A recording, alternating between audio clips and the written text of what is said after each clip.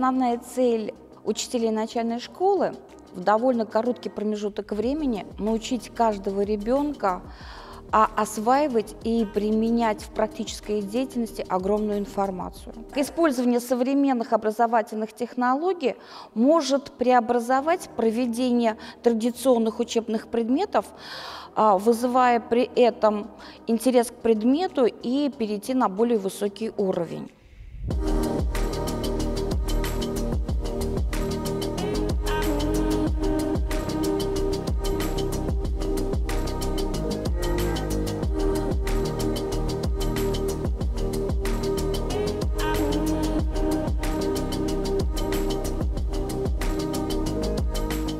Первую очередь имеет место в работе учителя начальных классов технология игровой деятельности и игровых форм организации учебной деятельности. Игра позволяет психологически ребенку э, раскрепоститься, и при этом ребенок решает сложные задачи, проявляет свою, свои творческие способности.